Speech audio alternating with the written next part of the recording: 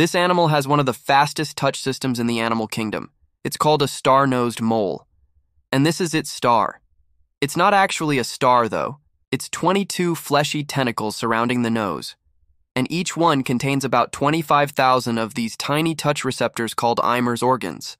They're packed into a fingertip like surface that's incredibly sensitive. When the mole feels something interesting in the mud or leaf litter like a worm, the receptors in the star fire in microseconds.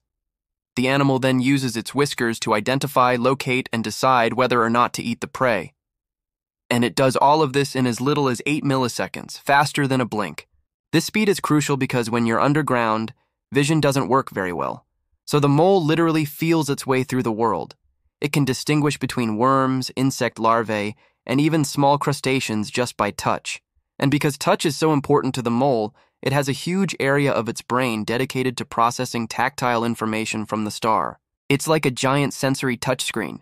This allows the mole to perform lightning fast foraging in the dark, wet tunnels underground. So the next time you're digging in the dirt, be careful. You might just be using your nose to type on the fastest touchscreen in the world.